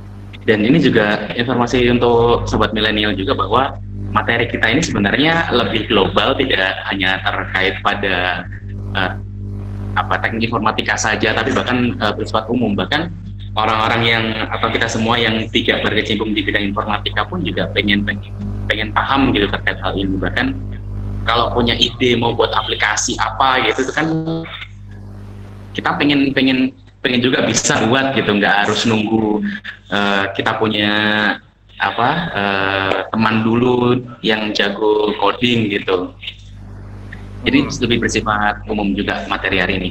Mungkin Mas Aldi ada uh, yang disampaikan lagi materinya atau ide apa lagi nih yang mau dibagikan nih? Uh, iya, lanjut sih ke ke yang tadi. Ya tadi kan bahas masalah front end ya, terus uh, materi saya sih kurang kurang satunya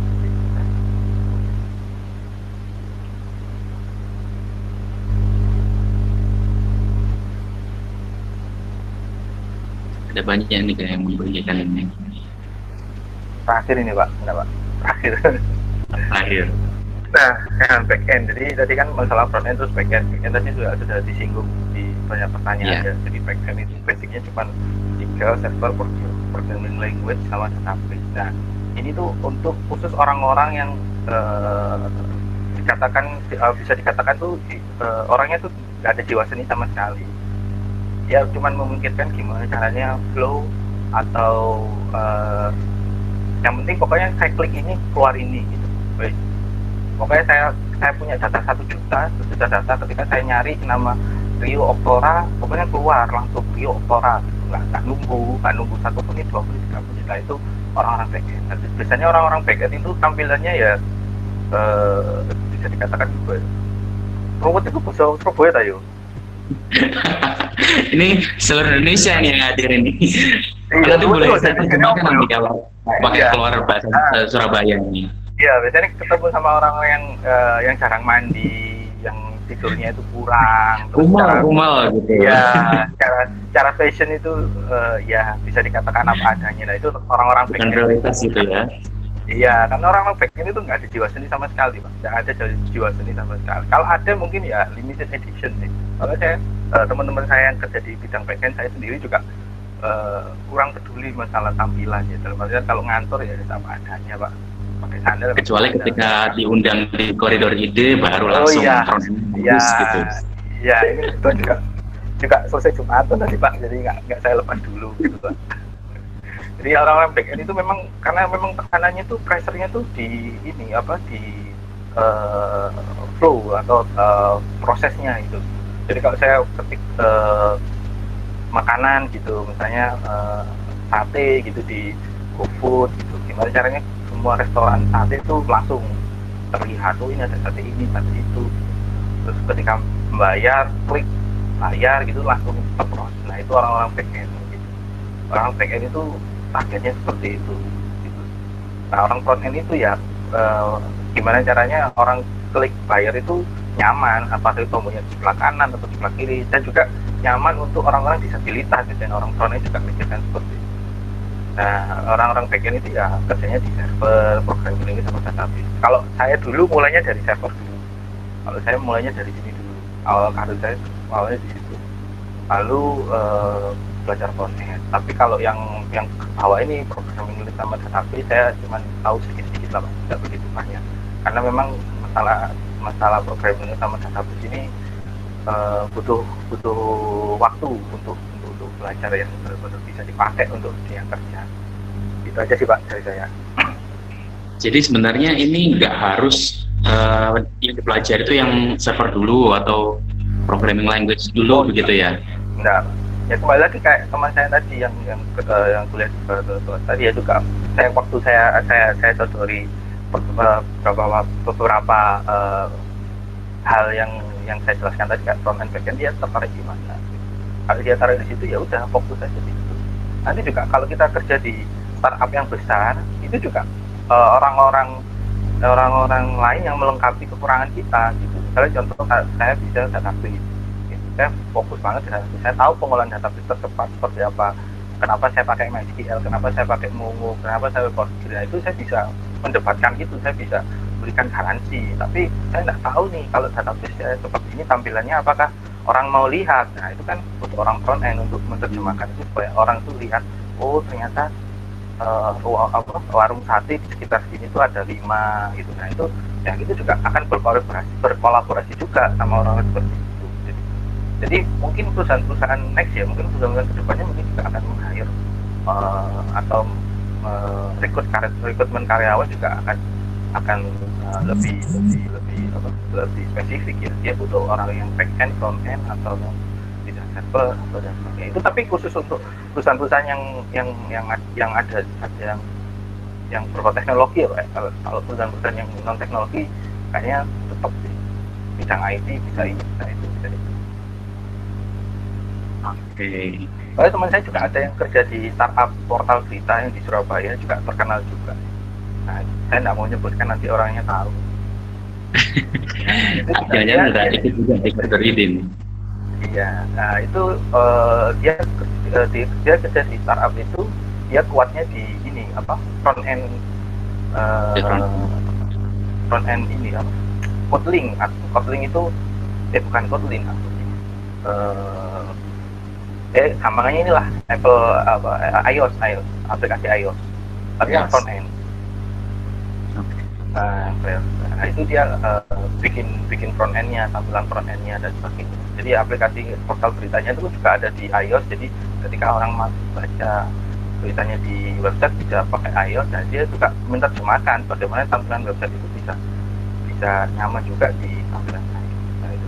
Nanti dia juga nggak mikirin gimana artikelnya gimana uh, ketika saya klik cari keluar artikel ini juga kan dia nggak mikirin itu yang penting dia fokus supaya orang nyaman melihat lihat tampilannya seperti itu sih oke. Nah, ini kalau di apa dibahas lagi banyak ini nggak nggak nggak nggak cukup waktunya. Kalau tadi ada juga yang tadi nanya tentang uh, coding, bahkan saya kepikiran juga kayaknya juga butuh juga kita buat workshop online gitu terkait dengan coding atau belajar tentang ini. Bisa loh nanti kita undang lagi Mas Aldi tahu juga dosennya Adrian nih harusnya harusnya diundang juga ke itu nih buat ya, workshop Iya, sesuanya Wika saya Pak, jangan saya Pak. Oh. nanti undangannya khusus nanti langsung dikirim di rumah nanti. Iya. nanti. Ada lagi yang mau disampaikan?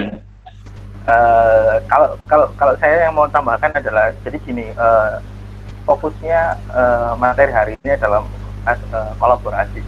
Kolaborasi dari teman-teman yang yang yang ada di sini yang bisa IT yang bisa segala macam bisa desain web uh, itu mulai merangkul teman-teman yang tidak bisa. Jadi untuk mengajari teman-teman yang bisa. Juga yang tidak bisa sama sekali tapi punya bakat atau punya uh, sesuatu yang bisa dijual dalam artian tanda kutip dijual itu ya dipromosikan di internet misalnya kayak teman-teman yang dari arsitek atau teman-teman dari teknik sipil yang bisa bangun rumah yang saya jelaskan tadi yang bisa atau teman-teman yang punya uh, minat di film ya, yang sering nonton drama Korea.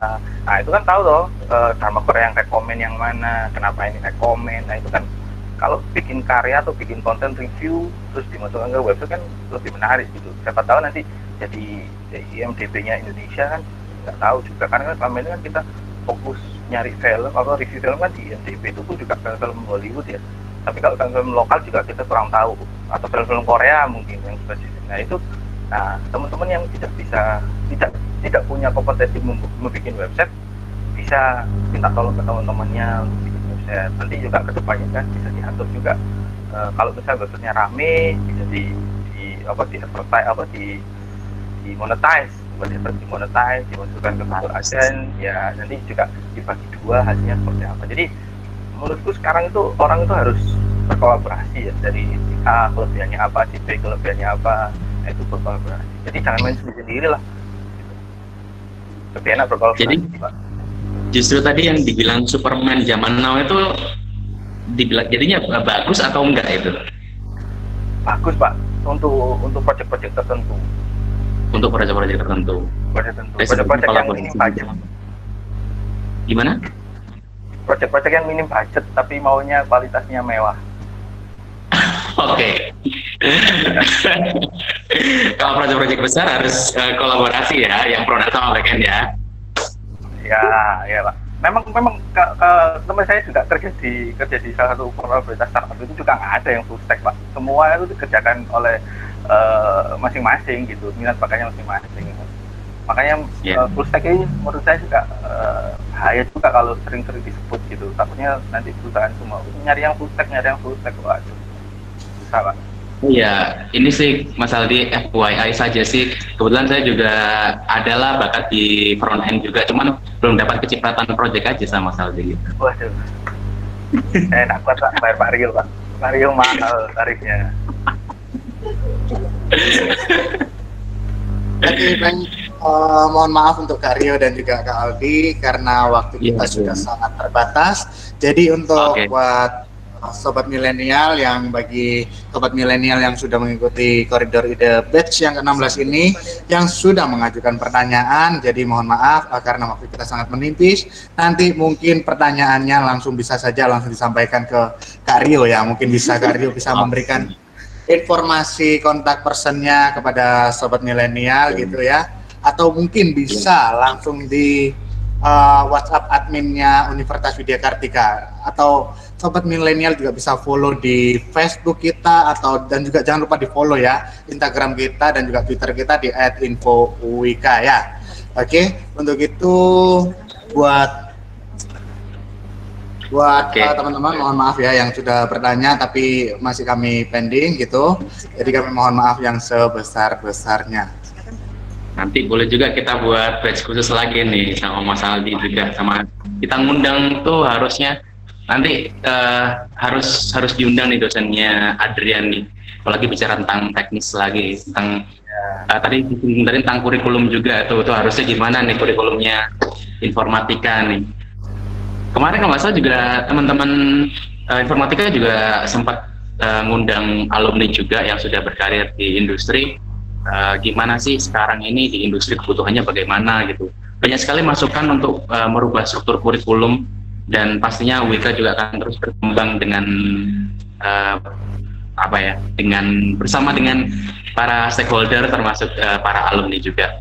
Itu Mas Aldi mungkin ada closing statement lagi ada yang mau disampaikan lagi uh, ya closing statement saya sih uh, untuk ke depannya ya teman-teman yang ada di UIK maupun yang tidak uh, tidak kuliah di UIK mulailah mencari uh, teman untuk berkolaborasi. Jadi apa pun minat bakat kalian itu sia-sia juga kalau orang itu tidak tahu. Contohnya kemarin saya lihat channelnya UIK itu ada yang uh, apa robot itu pak ya untuk disabilitas itu pak ya Iya betul. Ya, Dan teman-teman pemilihan itu. Ya itu bagus sekali tuh. Itu uh, sangat membantu teman-teman disabilitas yang memang butuh untuk uh, apa teknologi seperti itu. Nah lagi per, uh, pertanyaan saya ya siapa yang tahu teknologi itu ada di UNK. Nah mulailah teman-teman teknik elektro yang mungkin mendengarkan uh, acara uh, yang mendengarkan saya ini juga uh, mencari teman-teman yang informatika atau teman dekat atau teman kuliah atau teman nongkrong untuk ayo kita bikin website sama-sama untuk memperkenalkan uh, teknologi disabilitas ini siapa tahu nanti ada founder-founder atau mungkin bisa dilirik oleh founder-founder besar kayak punyanya uh, Harum, punya Harum, nanti dibiayai risetnya, dibikinkan startup dan sebagainya. Kita nggak pernah tahu. Kalau kita nggak mulai untuk mempromosikan diri kita sendiri atau mempresentasikan uh, karya kita sendiri, ya lamanya ya akan menjadi kenangan yang akan menjadi uh, materi yang bagus untuk untuk generasi selanjutnya. Itu pak dari saya. Oke. Terima kasih Mas Aldi. Sedikit saja sih dari saya. Jadi interkoneksi halaman virtual ini tidak hanya kita uh, kita uh, tampilkan di depan kemudian kita tunjukkan ke publik tapi di balik, di balik itu juga kita perlu kolaborasi antara satu sama lain untuk bisa menampilkan halaman yang benar-benar bagus dan benar-benar bisa dinikmati oleh publik atau netizen. Itu saja dari saya. Sekali lagi terima kasih banyak Mas Aldi atas waktunya. Saya kembalikan ke MC Adrian. Oke, baik. Terima kasih sekali lagi untuk Kak Aldi dan juga terima kasih untuk kepada Kak Rio yang sudah bisa menjadi narasumber kita dan juga moderator kita pada sore hari ini. Sungguh sangat luar biasa ya sore hari ini dalam acara Koridor Ide Batch yang ke-16. Dan juga untuk itu sekali lagi uh, saya Adrian Christian yang akan menginformasikan kembali bahwa kami akan memberikan sertifikat gratis dan juga voucher belanja dari Bantex kepada semua peserta forum online ini. Dan yang pastinya dengan mengisi terlebih dahulu survei kepuasan yang Linknya akan kami kirimkan melalui di kolom chat forum dan juga bisa dilihat juga di email yang akan kami kirimkan kepada peserta forum yang sudah mengisi form online pendaftaran pastinya.